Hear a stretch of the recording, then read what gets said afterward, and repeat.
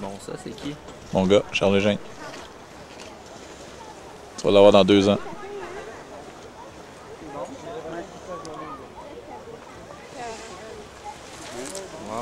Bravo, Charles!